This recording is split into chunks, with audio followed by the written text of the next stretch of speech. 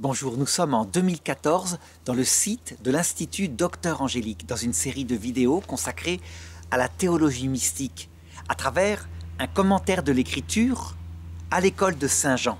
Saint Jean qui est celui qui a parlé le plus justement de l'amour de Dieu lorsqu'il se révèle. Et je voudrais aborder dans cette vidéo quelque chose qui n'est pas directement dans l'évangile selon Saint Jean parce que les apocryphes l'ont raconté, mais qui prend tout son sens à la lumière du prologue de Saint Jean. Il s'agit des trois épiphanies. Épiphanie qui est un terme grec qui signifie les trois manifestations glorieuses, on peut dire, de la divinité du Christ, de sa mission en tout cas, parce que sa divinité est plus cachée, quoique les rois mages véritablement l'adoreront. Et donc, ces trois épiphanies sont celles données aux mages, celle donnée à Anne, la prophétesse, et celle donnée à Siméon, un vieillard qui attendait la manifestation du Messie à Jérusalem. Mais avant d'aborder cela, il faut savoir historiquement dans quel contexte ça se passe. Ça se passe à l'époque des dernières années, des derniers mois même, du roi Hérode le Grand. Hérode le Grand, sa caractéristique, c'est qu'il est d'abord un roi bâtisseur, extraordinaire on peut dire qu'il a laissé en archéologie, en Terre Sainte, l'équivalent de ce qu'a laissé Ramsès II en Égypte. Il a entrepris très tôt des, travaux magnifiques, pharaoniques, on pourrait dire, et en particulier ceux du Temple de Jérusalem, qui est devenu pratiquement, on peut dire, la huitième merveille du monde, qui attire depuis tout le monde romain de l'époque, le monde grec, des gens qui cherchent Dieu, et qui veulent adorer dans ce temple le Dieu unique.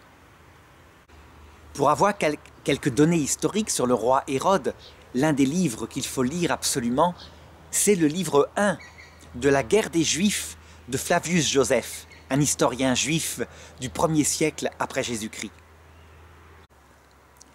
Il faut savoir que le peuple juif a été conquis plusieurs fois.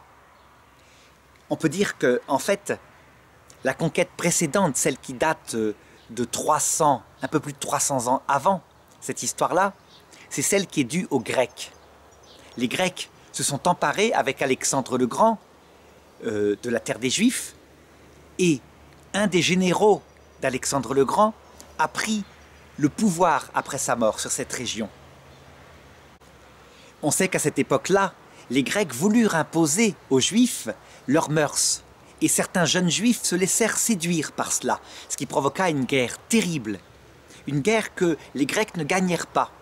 C'est les frères Maccabées qui racontent, enfin c'est dans le livre des Maccabées que qui cette guerre. Si bien que finalement, on arriva à une sorte de modus vivendi, puisque les Juifs avaient des mœurs particulières, différentes des autres peuples, eh bien les Grecs finirent par les respecter, tout en ayant une domination politique. Les successeurs des frères Maccabées devinrent prêtres, grands prêtres à Jérusalem, et le sacrifice fut rétabli. Seulement, au premier siècle avant Jésus-Christ, il y avait de telles divisions qu'à un moment donné, on fit appel aux Romains, et en particulier au grand Pompée, qui, évidemment, vint aider, puisqu'il y avait un appel à l'aide à Rome. Mais quand Rome vient aider, Rome conquiert. Si bien que cette région-là devint une domination de l'Empire romain. Et les Romains, qui étaient d'habiles négociateurs, ne demandaient qu'une chose, un tribut.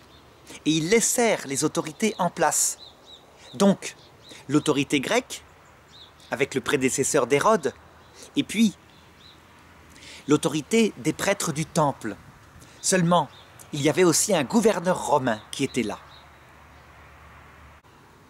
Et les rois grecs devaient faire allégeance à Rome. Ils obtenaient à ce moment-là un maintien dans leur royauté.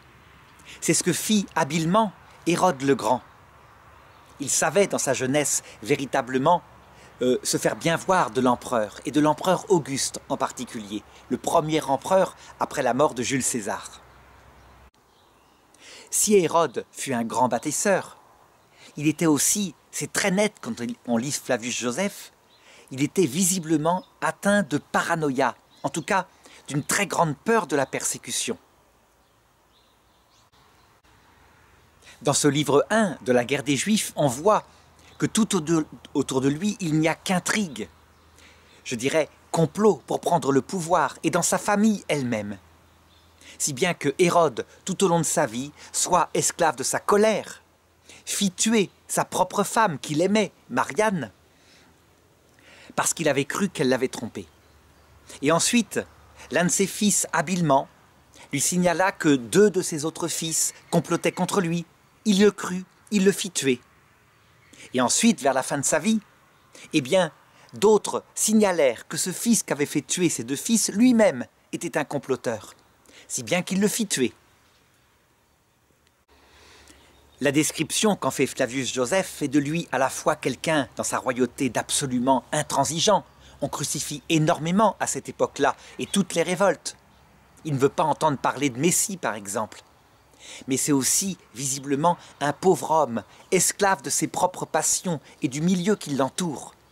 Un homme malade, on pourrait dire, et qui fit son malheur. Le meurtre de sa femme en particulier le hanta toute sa vie, au point qu'on raconte qu'il voyait son fantôme. Et c'est dans ce contexte-là, donc vers à peu près l'an moins 8 avant Jésus-Christ, puisqu'il y a eu une erreur sur la date de naissance de Jésus, que se produisirent les événements que racontent les évangiles. Et ils sont la seule source historique de cette étoile mystérieuse qui apparut dans le ciel. Voilà ce que dit le texte. C'est au chapitre 2 de l'évangile selon saint Matthieu. Jésus était né à Bethléem, en Judée, au temps du roi Hérode le Grand. Or voici, que des mages venus d'Orient arrivèrent à Jérusalem et demandèrent Où est le roi des Juifs qui vient de naître? Nous avons vu se lever son étoile et nous sommes venus nous prosterner devant lui. Il n'est pas parlé dans l'évangile de roi mage. Ça, c'est quelque chose qui viendra plus tard. C'est possible qu'ils aient eu aussi un rôle royal à l'époque où on peut dire qu'il y a encore des rois qui règnent sur des cités. Mais ce que précise plutôt l'Écriture, c'est qu'ils sont des mages. On peut penser, en fait, en fait, quand on connaît les religions païennes de l'époque, qu'ils sont très probablement aussi des astrologues. Et voilà la raison. Les religions païennes du secteur sont le fruit de tout un passé de l'humanité. Il y a eu d'abord le paléolithique, comme je le disais, où les étoiles étaient très visibles dans le ciel, où les gens cherchaient à connaître leur destin. Et très souvent, parce qu'on voyait le ciel magnifiquement éclairé, il n'y avait pas de pollution lumineuse, eh bien le rapport entre le ciel et la terre était recherché. C'était les savants de l'époque, c'était l'astrologie. Et puis, la civilisation avait évolué, elle était passée par la phase du néolithique, où il y avait tellement de famine qu'on n'hésitait pas à offrir aux forces du ciel, le soleil, la lune, les étoiles, des sacrifices humains. Et ensuite, quand les choses s'étaient un petit peu améliorées, que l'agriculture et l'élevage marchaient mieux, tout en gardant les anciennes couches géologiques des croyances que les anciens redonnaient aux jeunes, eh bien, on se racontait d'autres histoires sur des dieux, et c'était toute l'époque des mythologies qui se multiplièrent, où les dieux vivaient dans le ciel, étaient un petit peu comme les hommes, avaient des histoires de jalousie, de haine qui expliquaient parfois les malheurs des hommes.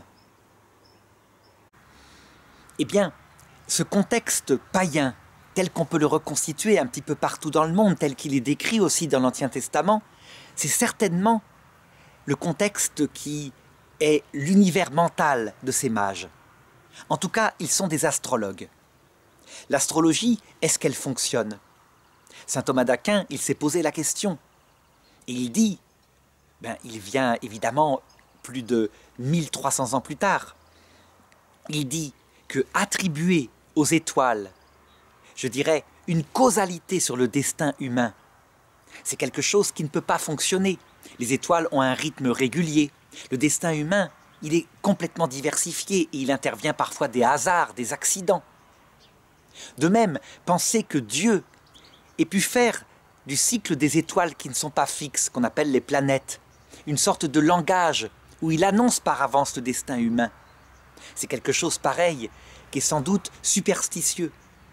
parce que le cycle de ces planètes n'a pas de rapport avec la complexité des événements humains. Donc on peut dire que l'astrologie est une superstition. Elle attribue un effet ou alors une cause à quelque chose qui ne peut pas avoir de tels effets et qui ne peut pas non plus être une telle cause. Les astres, donc, par rapport aux êtres humains, dit saint Thomas d'Aquin, eh bien, ils peuvent peut-être influencer parfois, en tout cas pour ce qui est des planètes, notre tempérament. On le voit pour la Lune, le Soleil qui rend joyeux, la Lune qui angoisse plutôt. Mais selon lui, ça ne va guère plus loin. D'abord parce que même notre tempérament, il a des causes beaucoup plus profondes, comme l'éducation reçue des parents, le corps reçu des parents fondamentalement, et puis l'époque où on vit, etc. Toujours est-il que ce qui est fabuleux dans cette histoire de l'épiphanie faite hommage, c'est qu'on voit véritablement Dieu s'adapter à ces peuples, ces peuples qui sont ses enfants. Certes, ils sont dans l'erreur, mais ils sont ses enfants. Et donc, parce que le Messie vient pour eux, il ne vient pas que pour Israël, eh bien Dieu va s'introduire dans leur croyance véritablement.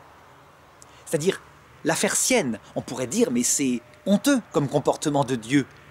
Il les confirme dans leurs erreurs. Dieu ne s'inquiète pas de cela.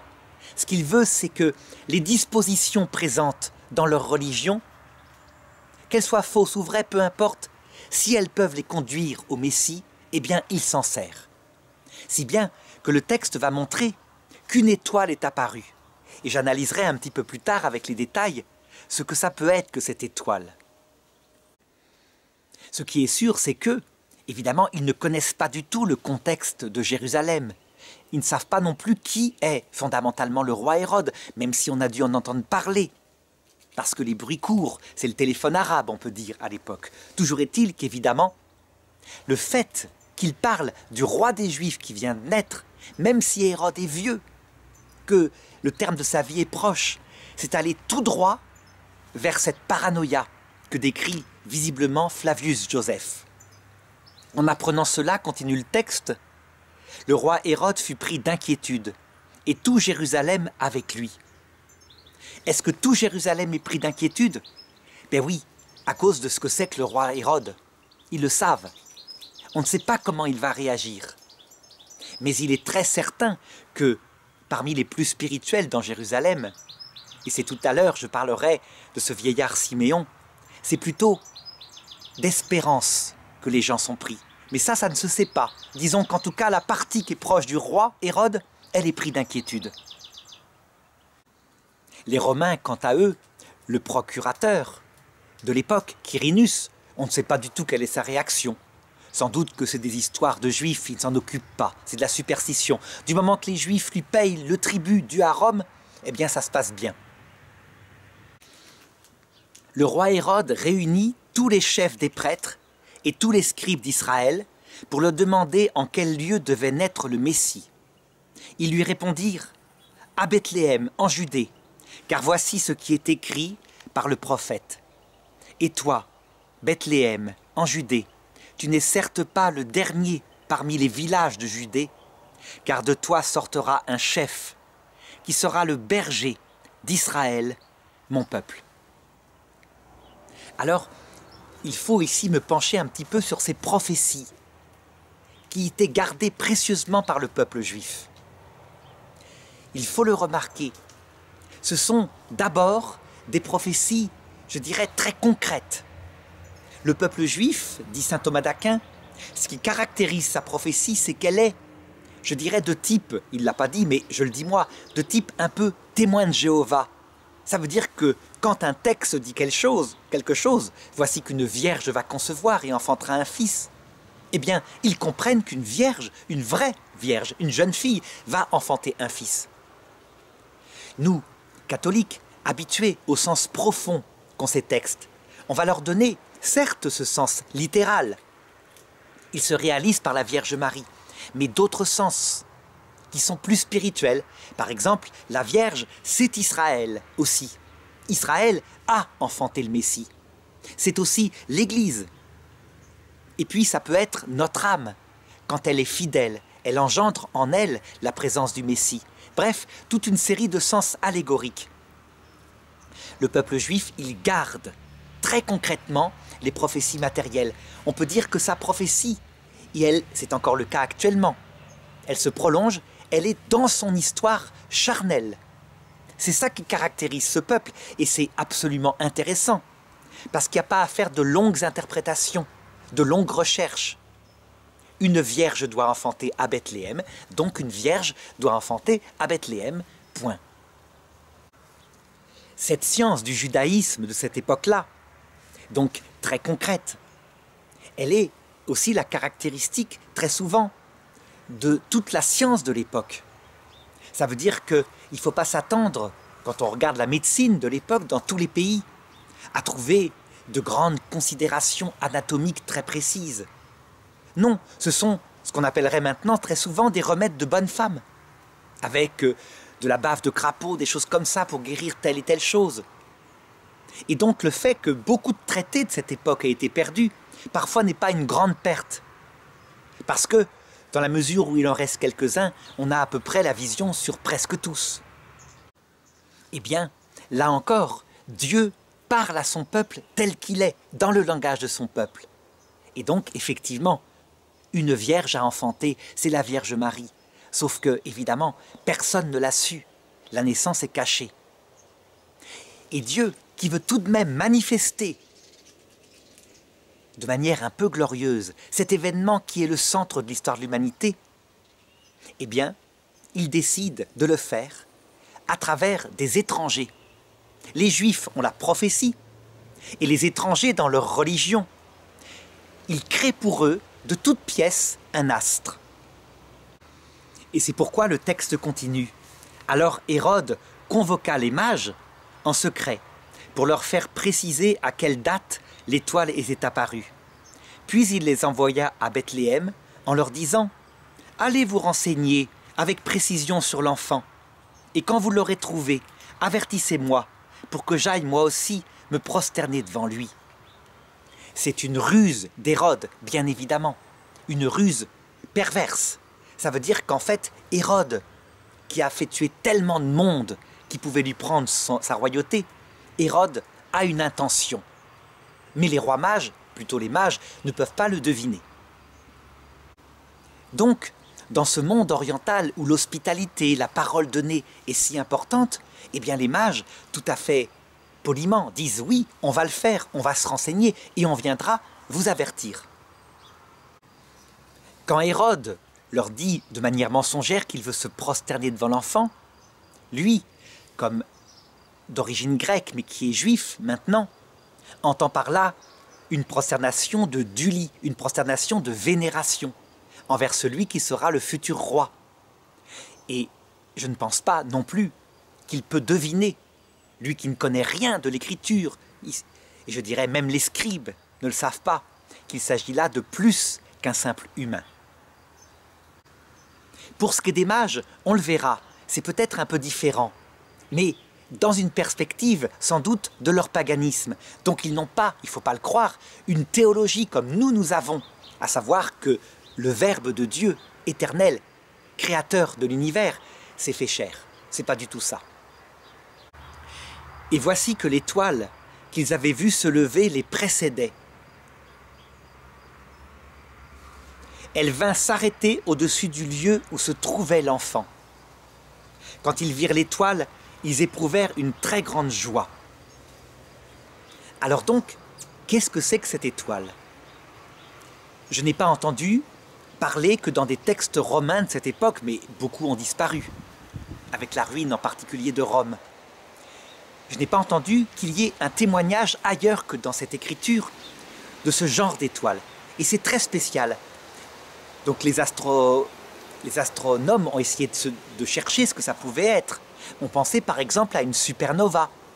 On sait ce que c'est, c'est une étoile de notre propre galaxie qui éclate et qui peut véritablement, sur quelques jours, quelques semaines, produire une lumière si forte qu'elle brille presque autant que le Soleil. Là, le texte ne dit pas cela. Il dit que l'étoile les précède, leur indique la route. Et quand ils s'arrêtent le soir pour dormir, elle s'arrête et elle repart le lendemain. C'est absolument étonnant. Donc c'est un être cosmique très spécial, c'est un être cosmique intelligent. C'est en fait une créature qui est très probablement façonnée par les anges, qu'il dirige, tout simplement pour qu'elle corresponde au mode de connaissance de ces mages. Puisqu'ils vont vers le sens du sacré à travers l'astrologie, eh bien, Dieu et ses anges utilisent l'astrologie. Ce passage-là, il est absolument fondamental par rapport à la querelle qui est arrivée après Vatican II, et en particulier le document qu'on appelle Nostra Aetate, qui dit que dans toutes les religions, et il les cite, mais il ne cite pas le paganisme ancien, l'astrologie, il cite les principales comme le bouddhisme, l'hindouisme, l'islam, le judaïsme. Et ce document dit que Dieu a mis dans ces religions, qui ne sauvent pas, parce que le salut, c'est l'amour d'amitié pour Dieu, il faut le Christ. Mais Dieu a mis de véritables préparations, des dispositions. Le texte parle à un autre endroit de semences de la vérité, qui préparent à l'avenue du Christ. Et le Concile les cite. Et donc, après le Concile Vatican II, certaines personnes, suivant Monseigneur Lefebvre, dire qu'il y avait là quelque chose qui était opposé à la foi des anciens. Parce que, effectivement, lorsqu'on regarde les anciens dogmes des papes, ils insistent sur l'autre aspect des autres religions, en disant Elles n'apportent pas le salut, seul le Christ apporte le salut. Si bien qu'ils dirent si le Concile Vatican II dit qu'il y a en elle des semences de la vérité qui conduisent au salut, c'est contradictoire avec les anciens dogmes, donc le Concile est hérétique. En réalité, bien sûr que le Concile n'est pas hérétique. Quand il y a comme ça des vérités qui semblent en apparence se contredire, le père Marie-Dominique Philippe, qui avait été mon formateur en théologie, disait il faut les frotter comme deux silex, et c'est de là que naît la lumière. Eh bien, je dirais qu'en suivant Benoît XVI, qui dit que Vatican II doit toujours se comprendre à la lumière des précédents conciles. La vérité est simple. Elle consiste à dire avec les anciens dogmes que les anciennes religions ne sauvent pas, ne donnent pas cet amour d'amitié vivant, concret, avec Dieu, mais qu'elles contiennent en elles des dispositions qui préparent au salut par le Christ. Est-ce que c'est nouveau? Est-ce que le Concile établit quelque chose qui serait une nouveauté pas présente dans la révélation? Eh bien, le récit des mages montre que non. La première chose que fait le Christ lorsqu'il s'est incarné, c'est de faire créer par ses anges une étoile dans le ciel afin que les mages païens viennent l'adorer. Et ça montre bien que même dans l'astrologie, même dans le paganisme, il y avait donc des dispositions qui demandaient simplement à être éclairées par la lumière du Christ pour conduire au Christ. C'est la même théologie. Et de fait, cette étoile les mène au Christ. Les bergers, la nuit de Noël, donc une partie du peuple juif parmi les plus pauvres, mais qui symbolise cet Ancien Testament qui faisait paître l'humanité comme il le pouvait vers Dieu sans donner le salut. Et maintenant, les autres religions, symbolisées par les mages, qui elles aussi, par une sagesse toute humaine parfois, extrêmement primitive, faisaient paître le troupeau de l'humanité païenne comme elles pouvaient dans des dispositions qui étaient accomplies lorsque l'ange du Seigneur, à l'heure de la mort de chacun, annonçait le Messie qu'allait venir. Et donc le texte continue et dit, quand ils virent entrant, pardon, entrant dans la maison, ils virent l'enfant avec Marie sa mère, et tombant à genoux, ils se prosternèrent devant lui. Ils l'adorèrent, dit un autre texte. Quelle est la nature de cette adoration des mages? Est-ce que c'est l'adoration chrétienne, celle que les catholiques, les orthodoxes, les protestants accordent au Christ, véritablement? Comme étant Dieu, né de Dieu. Et j'avais montré comment la Trinité, dans les précédentes vidéos, était quelque chose d'extrêmement simple à comprendre en fait. Le Christ n'est rien d'autre que la contemplation éternelle du Père. Et comme le Père se connaît infiniment, parfaitement, le Fils est réellement devant le Père alors qu'il n'est que sa connaissance, substantiellement identique au Père, une personne face à une personne. Et c'est ce Verbe éternel, appelé aussi le Fils, qui est là devant les mages. Évidemment, les mages ne connaissent pas cette théologie, mais la Vierge Marie non plus, mais Joseph non plus. Et donc s'ils adorent Jésus, c'est avec leur mentalité païenne, probablement un petit peu ce dont accuse beaucoup plus tard Mohamed les chrétiens, parce qu'il a eu affaire à des chrétiens qui peut-être agissaient comme ça, une petite tribu hérétique. Probablement qu'il l'adore comme un demi-dieu, le fils d'un dieu, un des dieux du panthéon polythéiste qu'ils ont. Et on sait que dans les mythes grecs, dans les mythes romains, il y avait véritablement cela. Des dieux qui faisaient des enfants avec des hommes. Et puis, ces dieux vivaient sur terre. C'est le cas d'Hercule, par exemple. Donc peut-être que les mages ont cette idée en tête. Mais peut-être aussi qu'en fait, ils connaissent beaucoup plus intelligemment la théologie des Juifs avec cette histoire de Dieu unique. Elle n'était pas du tout étrangère complètement. Il faut se souvenir que plusieurs siècles avant, il y a eu Aristote, qui était le précepteur d'Alexandre le Grand, et qui déjà était sorti des mythologies multiples en disant il faut poser un être premier créateur. Alors il ne le connaissait pas bien, il disait c'est forcément le premier moteur immobile qui a fait se lancer les mouvements des astres. Il n'empêche qu'il posait un être premier créateur. Donc peut-être que ça aussi, ça influence les mages. Mais a priori, pas forcément, parce qu'ils sont tout de même des astrologues. Ils sont des païens, donc sans doute.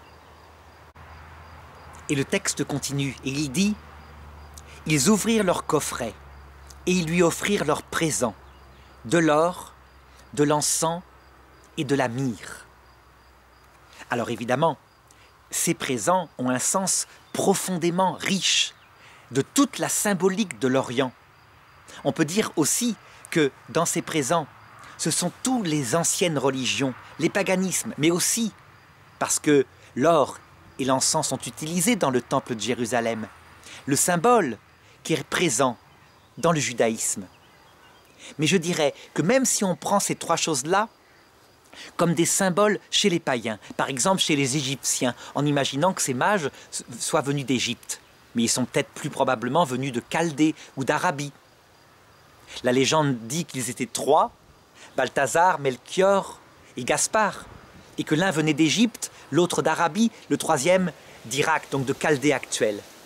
C'est une légende tellement plus tardive qu'elle n'est probablement pas vraie.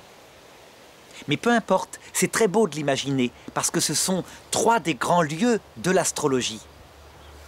Et eh bien dans ces lieux, l'or est offert au roi. Mais en Égypte, le roi est aussi Dieu. Donc l'or, il peuple le tombeau des pharaons, qui sont en fait l'incarnation d'un dieu, Horus. Et la génération tout entière se fait enterrer autour du roi afin de participer à son entrée dans la vie éternelle. Donc les tombeaux des rois d'Égypte sont pleins d'or. C'est pour le roi, c'est pour le Dieu. Pour ce qui est de l'encens maintenant, l'encens, c'est une herbe rare d'Orient qui sent très bon, qui est encore utilisée dans les églises actuellement. Il est mis sur un petit charbon qui est ardent, parce qu'en lui-même il ne brûle pas, et il émet une fumée qui monte dans le sanctuaire. Et donc l'encens est offert au Dieu. C'est le symbole de la prière des fidèles qui monte, qui monte vers le ciel, qui va jusqu'aux narines de Dieu ou des dieux et qui leur plaît. C'est la bonne odeur des adorateurs, si on peut dire. En général, l'encens est brûlé par le prêtre, qui est l'intermédiaire entre Dieu ou les dieux et les hommes. Enfin, la myrrhe, c'est une herbe, je crois, de la famille des labiacées, une herbe aromatique du style du romarin, une herbe qui sent très fort et qui sert en particulier à préparer le baume pour l'enterrement des morts, afin que l'odeur ne soit pas perceptible. Donc, si les mages offrent ça au roi qui vient de naître, c'est pour lui signifier qu'il devra mourir, qu'il est mortel. On sait que ce rituel de rappel de la mort sera utilisé très tardivement, et en particulier dans le christianisme, par exemple, dans l'Empire d'Autriche. Il y avait tout un rituel. Lorsque un, empereur d'Autriche mourait, la porte de l'église où il devait enterrer était fermée, et on frappait pour lui. Le prêtre disait Qui est-ce? Et une voix répondait C'est l'empereur un tel. Et la porte ne s'ouvrait pas. Alors le prêtre ou l'évêque redemandait Qui est-ce? Et la voix du chambellan devait répondre C'est l'empereur un tel. Et la porte ne s'ouvrait pas. Une troisième fois, la voix demandait Qui est-ce qui frappe? Alors le chambellan répondait Par le pauvre nom chrétien de celui qui était dans le cercueil derrière, et alors la porte s'ouvrait, et la cérémonie d'enterrement pouvait commencer. Eh bien, dans la mire, il y a ceci. C'est-à-dire que les rois, les mages, ont apporté certainement des cadeaux, mais des cadeaux profondément symboliques. Il y a là un roi. Ce roi est Dieu et il l'adore comme tel. Et ce Dieu mourra. Alors, on voit là si ça vient vraiment d'une vision du paganisme. Parce que les demi-dieux mouraient. On voit là comment il y avait dans les mythes des anciens paganismes, et c'est ce que montre euh, Vatican II dans Nostra Aetate, à travers les mythes, par exemple, de l'hindouisme. Eh bien, les mages ont été, sans le vouloir, des, des annonciateurs du destin du Christ qu'ils ne pouvaient pas connaître, évidemment. Et cela montre aussi que le Christ, quand il a choisi la vie et la mort qu'il aurait, ainsi que la résurrection, le conte qu'il a créé, puisque c'est lui qui a inventé sa propre vie terrestre pour révéler la divinité du Père et les qualités du cœur du Père. Eh bien, il a voulu passer à travers des histoires qui sont parfois présentes, plus ou moins, dans les anciennes mythologies païennes et aussi dans les récits du peuple juif. Ainsi, il a sanctifié les anciennes religions par sa venue il leur a donné sens de la même façon que, à l'heure de son retour, à la mort de chacun, même maintenant. Quand il apparaît par exemple à un musulman à l'heure de sa mort, eh bien il sanctifie ce qui est vrai dans sa religion en lui disant Serviteur, toi qui as été un bon serviteur. Parce que les musulmans ne veulent être que serviteurs de Dieu, ils refusent d'être amis. Eh bien, serviteur, tu peux devenir ami maintenant. Et le texte de cette première épiphanie se termine ainsi. Mais ensuite, avertis en songe de ne pas retourner chez Hérode, les mages regagnèrent leur pays par un autre chemin. Et c'est à partir de là que Hérode, dans sa paranoïa, commencera à se sentir trahi. Mais je verrai cette histoire du massacre des innocents dans une autre vidéo. Ce que je voudrais voir maintenant, ce sont les deux autres épiphanies. On sait que Joseph fut lui aussi averti par l'ange, et qu'il décida donc de partir. Mais visiblement, il partit très discrètement et passa par Jérusalem, puisque un autre évangile raconte que le huitième jour, il arriva à Jérusalem. C'est dans l'évangile selon Saint Matthieu au chapitre 2 à partir du verset 21. Et donc le texte commence. Quand arriva le jour fixé par la loi de Moïse pour la purification, les parents de Jésus le portèrent à Jérusalem pour le présenter au Seigneur. C'est donc un tout petit bébé. La purification, c'est en fait la purification de la mère et aussi du père, on pourrait dire, parce que il est signifié que depuis le péché originel, la façon dont on fait un enfant n'est pas exempte de convoitise. Certes, il faut toujours affirmer que Adam et Ève auraient fait un enfant de la même façon que maintenant. Il y a une légende qui court chez certains théologiens qui disent que à l'époque, ce serait fait purement spirituellement. Pas du tout. Adam et Ève ont un vrai corps biologique. Ils mangent. Et Dieu leur donne le commandement de faire des enfants, alors qu'ils n'ont pas commis le péché originel. Ils sont comme nous, ils sont nos pères et notre mère. Ils ont donc un sexe. Et évidemment, ça devait servir à ça. Sauf qu'à l'époque, il n'y avait pas possibilité de convoitise. Ils se seraient unis dans un acte total d'amour en voyant la pensée limpide de l'autre, innocente, l'un aimant l'autre tendrement.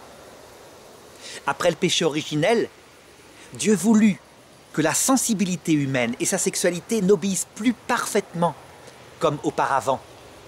Et donc que, au-delà du don d'amour, il y ait aussi une recherche égoïste de plaisir, et chez les deux, chacun selon sa psychologie.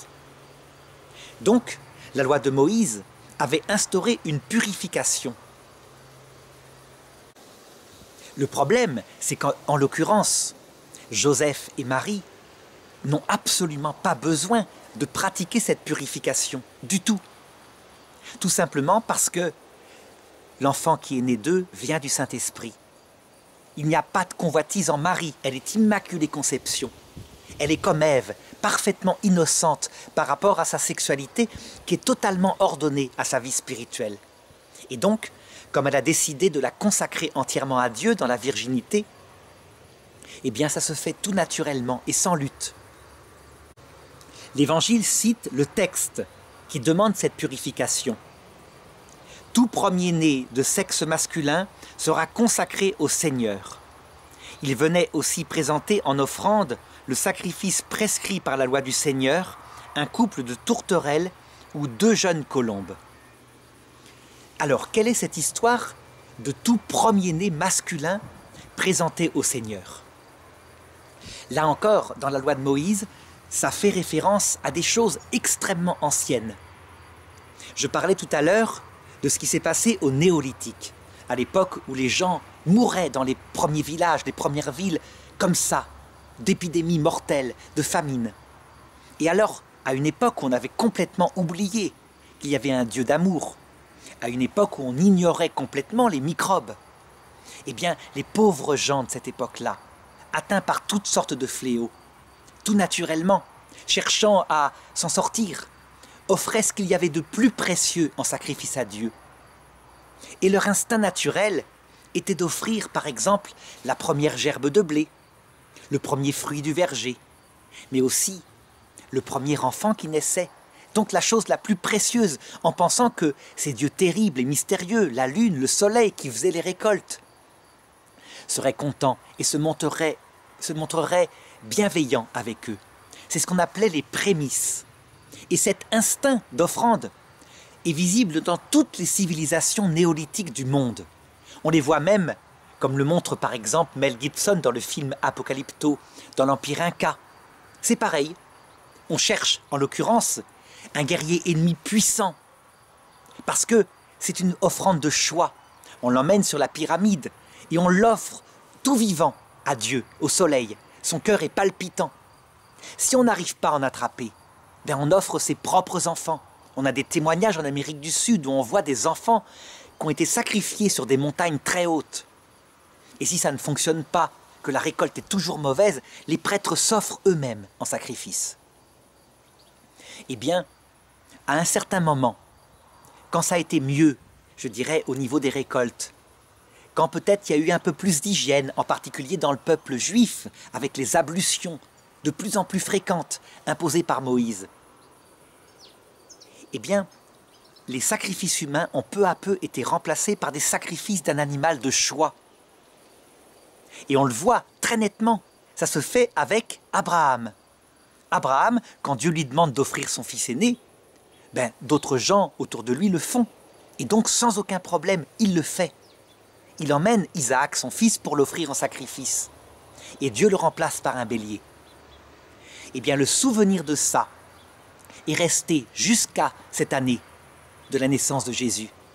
Et on offre au temple de Jérusalem des sacrifices perpétuels d'animaux à Dieu, qui remplacent des sacrifices d'humains, pour toutes sortes de choses, pour le péché, pour obtenir un enfant. Jésus est donc présenté au temple, c'est le premier-né de Marie. Et d'autre part, la Vierge Marie, qui n'a absolument aucune idée de sa propre pureté, eh elle offre au temple, pour son propre péché, deux colombes, un couple de tourterelles. Ce geste-là de Marie, accompagnée de Joseph, est la plus bouleversante et la plus discrète manifestation de l'ignorance qu'elle a de sa propre humilité et du tremblement qu'elle a eu quand l'ange l'a saluée en la désignant comme pleine de grâce. Elle ne peut pas le savoir, c'est le propre de l'humilité parfaite. Et c'est à ce moment-là, à Jérusalem, que va se produire la deuxième épiphanie. Une épiphanie auquel on ne pense pas. On pense surtout aux mages, on tire la galette des rois. Mais en réalité, celle-là, elle est beaucoup plus profonde, parce qu'elle vient du peuple juif, qui est dépositaire des promesses, donc qui, eux, savent beaucoup plus profondément que les mages qui viennent des païens ce qui est en train de se passer. Et voilà ce que dit le texte. Il y avait à Jérusalem un homme appelé Siméon. C'était un homme juste et religieux qui attendait la consolation d'Israël et l'Esprit Saint était sur lui.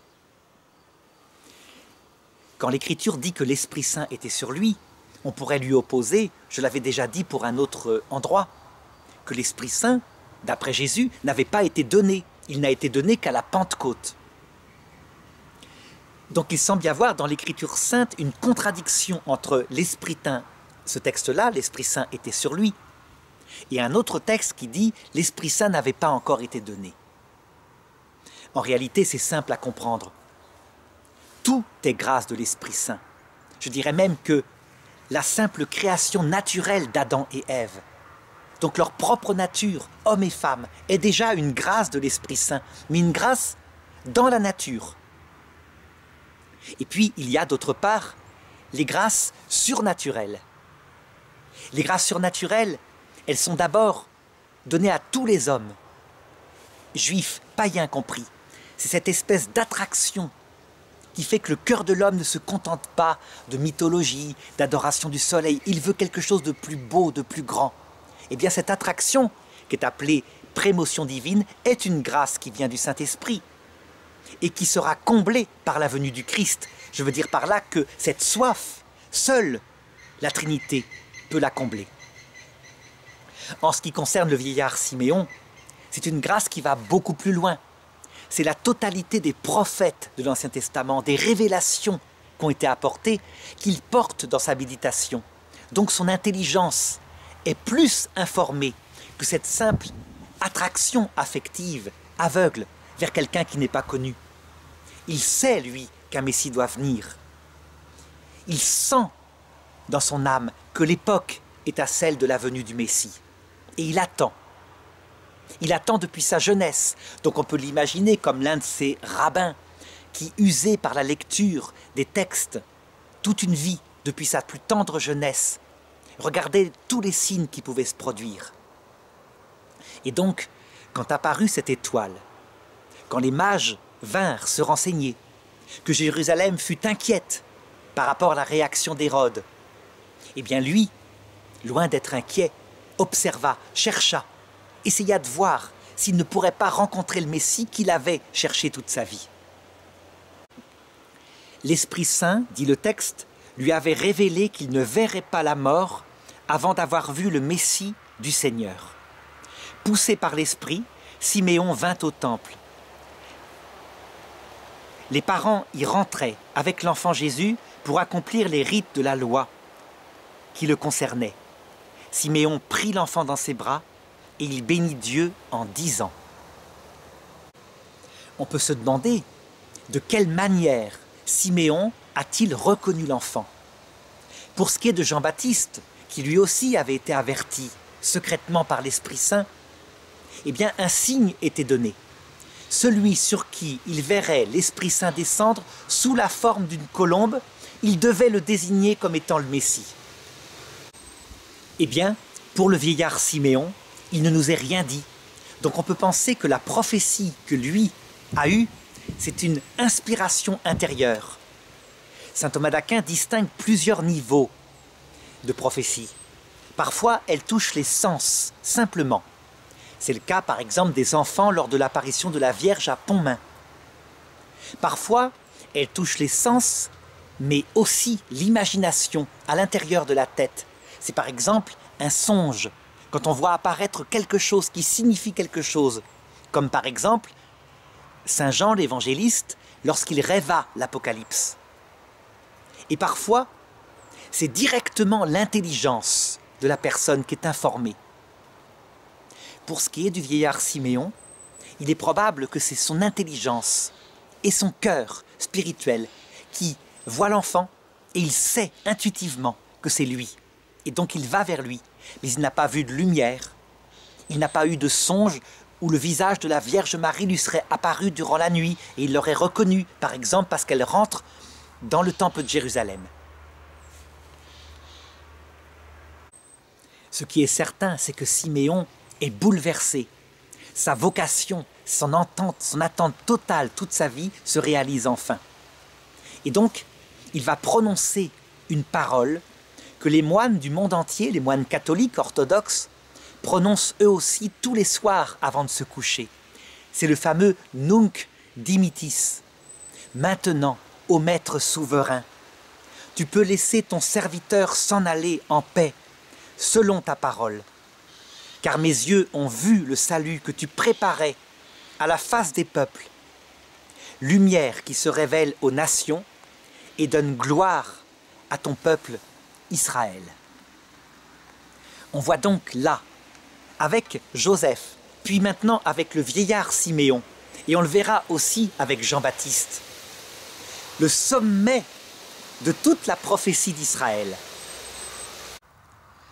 Alors lorsqu'on analyse cette prière, le Nunc Dimitis, inspirée par l'Esprit Saint, on s'aperçoit en fait qu'elle contient une théologie d'une très grande précision. Quand Siméon dit par exemple Mes yeux ont vu ton salut. Eh bien, je disais à un autre moment dans cette vidéo que le salut était certes un enseignement. Il y a un message, un contenu qui touche l'intelligence de l'homme et qui explique d'où il vient, où il va, qui il est. Mais en fait, ce n'est pas suffisant du tout. Certes, c'est le Verbe qui s'est fait chair. Le Verbe, ça veut dire l'intelligence même de Dieu, la personne qui est la contemplation de Dieu. Et donc c'est pour enseigner qui est Dieu. Mais en fait, la personne même du Verbe incarné est le salut. Et donc quand Siméon dit mes yeux ont vu ton salut, ses yeux de chair ont vu son salut, le salut. Eh bien, c'est vrai, c'est théologiquement très très précis. Le Christ Dieu fait homme est le salut. En lui se réunit, je dirais, même les deux commandements. L'amour de Dieu, puisque sa nature est divine, et l'amour du prochain, puisque sa nature est humaine. En tout cas, je dirais avec plus, de précision que en lui sont réunis en un seul être deux natures unies, selon une union hypostatique. Maintenant, est-ce qu'on peut dire que les yeux de l'intelligence du vieillard Siméon ont vu le salut de Dieu? Est-ce qu'il a compris ce que c'était que ce salut Eh bien, je ne dirais sans doute pas encore. Il n'a pas encore entendu. Certes, l'Esprit Saint est sur lui, et l'Esprit Saint peut très bien, en fonction des mérites du Christ, avoir éclairé son intelligence en profondeur. Seulement, plus, euh, comment dire, plus précisément, lorsqu'on regarde la suite du texte, on voit qu'il dit Salut que tu préparais à la face des peuples, que tu préparais. Cette notion de préparation, eh bien, elle résume l'Ancien Testament. Et donc, le vieillard Siméon est sans doute l'un de ceux qui a compris toutes les préparations, qui a vu le salut arriver. Et ce salut, son essence même, lui sera d'abord révélé un tout petit peu plus tard. Il va mourir par l'apparition de l'ange de Dieu. Et puis, je dirais, 33 euh, ans plus tard, lorsqu'il entrera cette fois dans la vision béatifique, il verra directement l'essence divine du Verbe fait chair qu'il avait vu bébé 33 ans plus tôt. Donc encore une fois, toujours ne pas, enfin jamais, jamais faire d'anachronisme. Je veux dire par là que ces hommes-là de l'Ancien Testament ne pouvaient pas savoir l'énormité du salut qui était préparé. ils y étaient préparés, ils en avaient soif au niveau affectif. Il y avait des messages qui l'annonçaient un petit peu. Par exemple, l'amour de Dieu était révélé, mais il était révélé comme un amour intense pour le peuple. Petit à petit, ils avaient compris qu'il y avait aussi une survie des personnes. Mais ils n'osaient pas penser que c'était un amour intense et réciproque pour chaque personne individuellement. Ça, c'est le Christ qui va le révéler. Quand le vieillard Siméon dit ⁇ Maintenant tu peux laisser ton serviteur s'en aller en paix ⁇ quelle est cette paix dont il parle? De quelle paix il vit dans son cœur?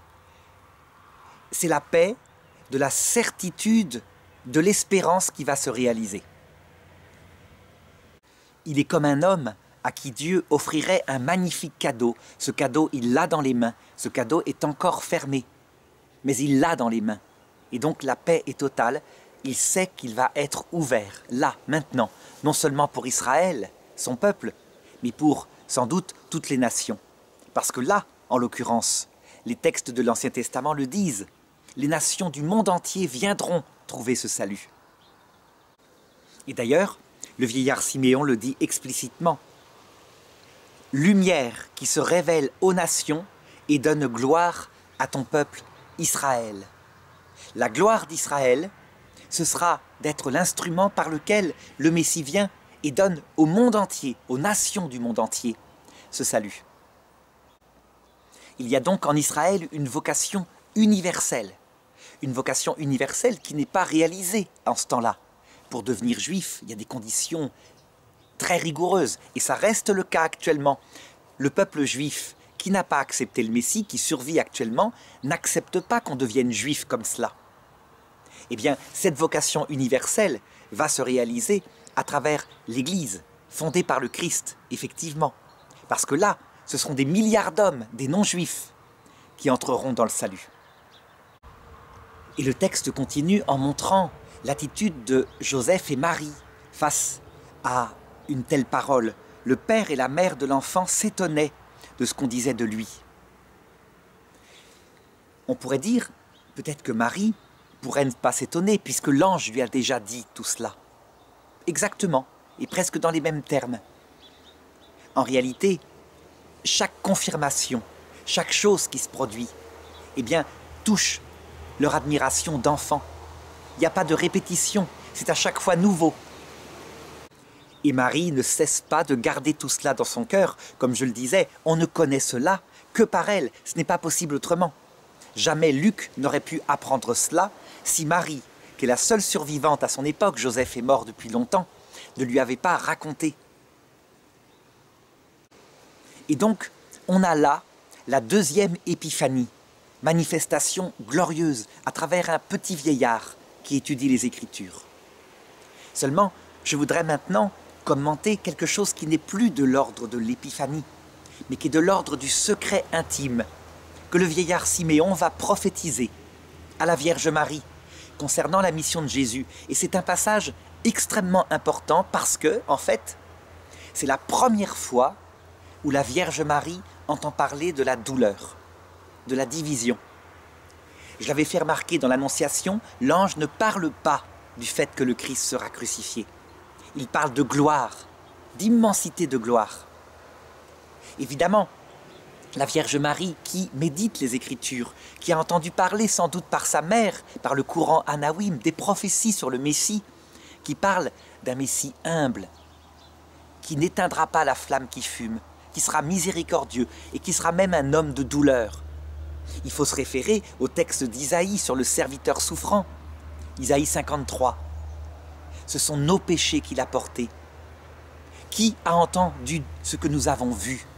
Lui, nous le croyions maudit par Dieu, rejeté à cause de ses péchés. Et en fait, c'était nos péchés qu'il portait.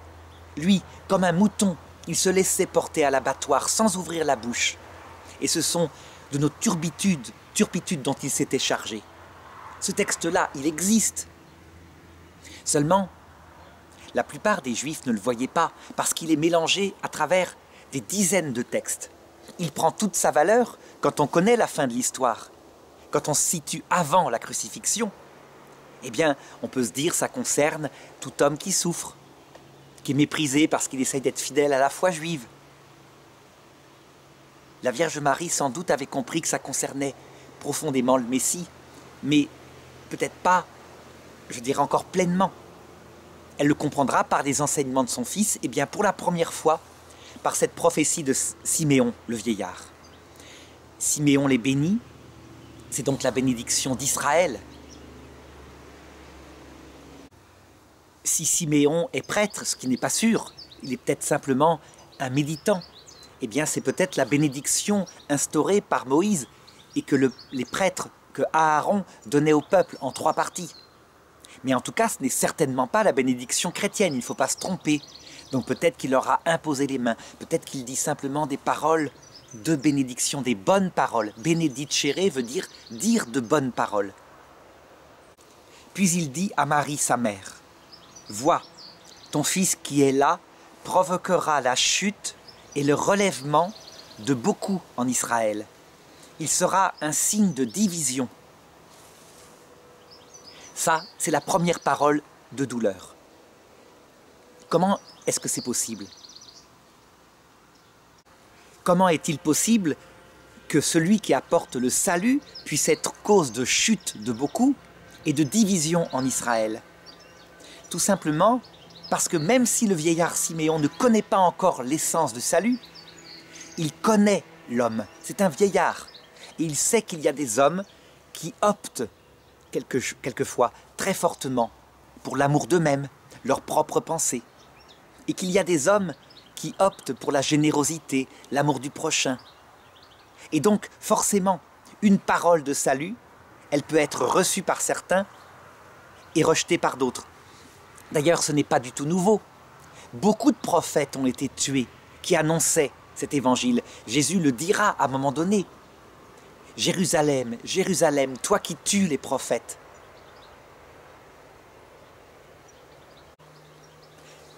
Est-ce que le vieillard Siméon peut comprendre l'essence de cette division, le fait que le Christ refuse de tirer les glaives, ce qui plairait aux zélotes, à ceux qui veulent chasser les Romains à travers un messie militaire, que Jésus sauve profondément l'homme par la parole qui donne vie dans l'éternité, et que du coup, les zélotes méprisent ce salut, qu'au contraire, les pauvres l'acceptent. On ne peut pas le dire, on ne sait pas, mais à l'avance, il peut deviner, il peut savoir que la parole qui vient de Dieu sera source de division. Et le vieillard continue en s'adressant à Marie, Et toi-même, ton cœur sera transpercé par une épée.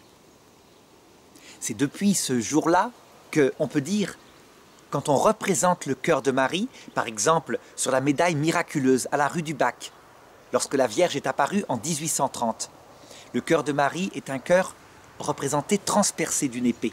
Le cœur de Jésus est un cœur représenté couronné d'une épine. Je veux dire d'une couronne d'épines.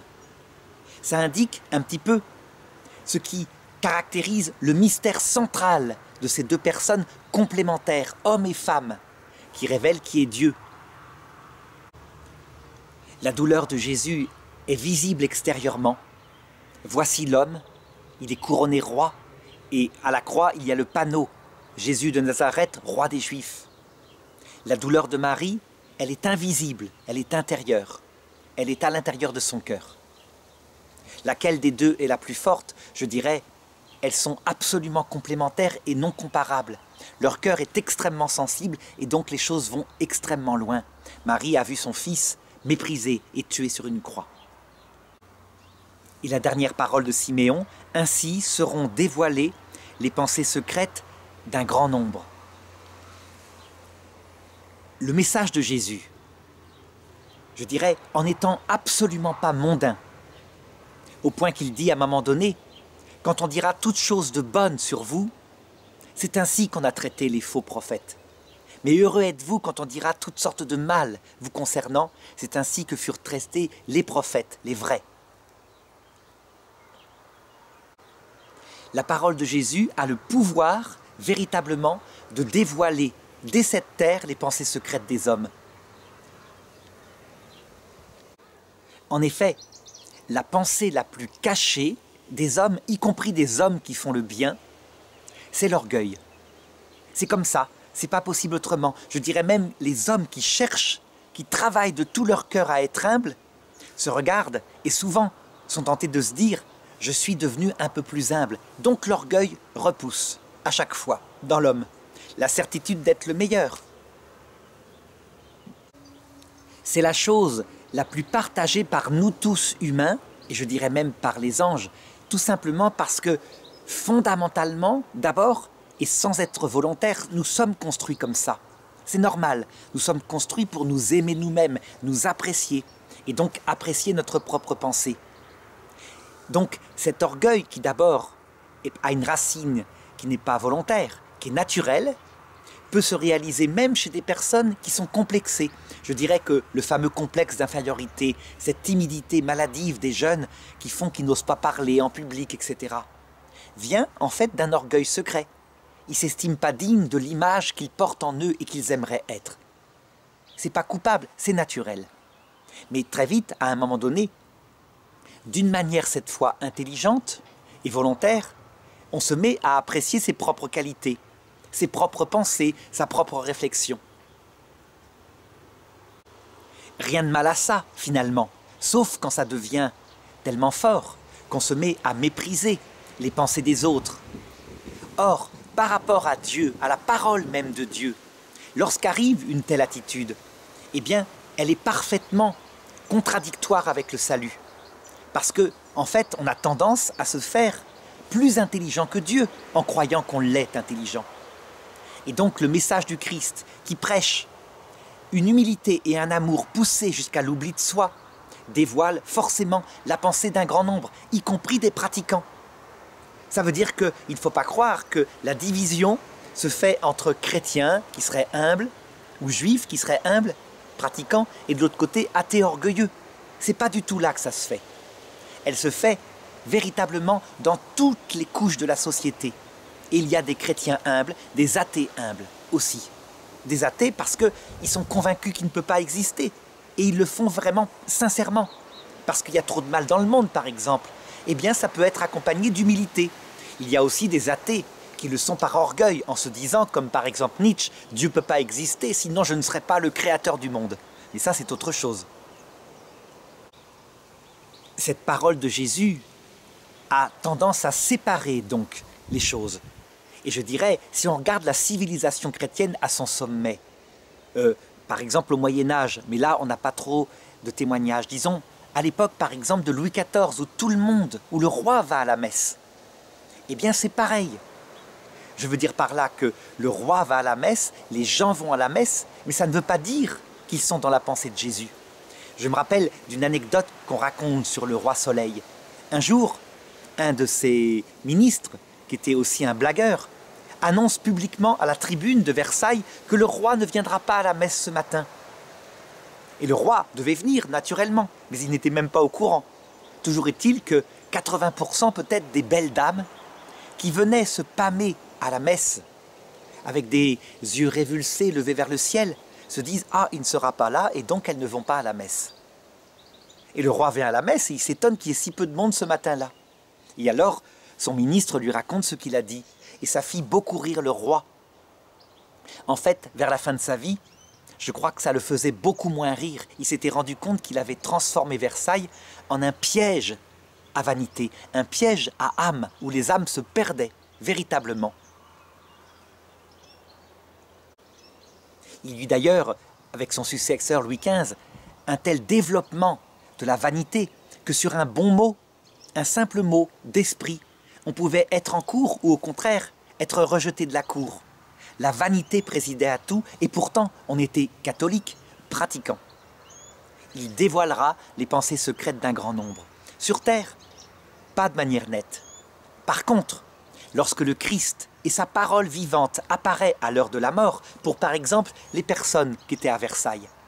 Là, cette apparition en pleine lumière dévoile les pensées de manière absolue. Ça veut dire qu'il n'y a plus de mensonge. L'orgueil est dévoilé, l'humilité est dévoilée. Tout homme tombe à genoux. Les pervers, parce qu'ils sont écrasés par la puissance d'une telle humilité, et ils la fuient. Et puis, les pauvres pécheurs parce qu'ils découvrent des choses qu'ils ignoraient en eux. Ainsi, se réalise jusqu'à l'heure de la mort et dans la fin du monde, mais cette fois de manière grandiose, définitive, cette parole du vieillard Siméon. Alors maintenant, je voudrais voir la troisième épiphanie qui est arrivée, l'épiphanie de la prophétesse Anne. Il y avait là une femme qui était prophète, Anne, fille de Phanuel, de la tribu d'Asser. Demeurée veuve après sept ans de mariage, elle avait atteint l'âge de 84 ans. Elle ne s'éloignait pas du temple, servant Dieu nuit et jour dans le jeûne et les prières. S'approchant d'eux à ce moment-là, elle proclamait les louanges de Dieu et parlait de l'enfant à tous ceux qui attendaient la délivrance de Jérusalem. On le voit, Anne est beaucoup moins discrète que le vieillard Siméon. Siméon a parlé à la Sainte Famille intimement et il a demandé à pouvoir partir maintenant vers l'autre monde. La prophétesse Anne, elle, elle proclame les choses. Et on peut imaginer que les gens, en la voyant parler comme ça, l'ont prise pour une vieille folle, quelqu'un qui radotait, l'ont pas vraiment écoutée. C'est qu'en fait, il ne fallait pas encore, évidemment, que Jésus soit manifesté. Il est dans la ville d'Hérode, le grand. Hérode qui, on va le voir dans la vidéo suivante, va essayer de poursuivre cet enfant pour le mettre à mort.